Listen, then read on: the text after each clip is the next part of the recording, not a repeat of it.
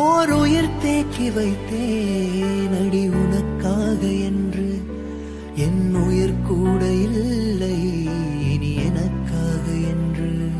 ஓர் நெடுஞ்சாலை தன்னை நான் கடந்தேனே அன்று. என்னை நிலம் கேட்டதம்மா உன் நிழல் எங்கு என்று. உன்னில் நான் ஒரு பாதி என அதை சொல்லுவதேன் புரியா?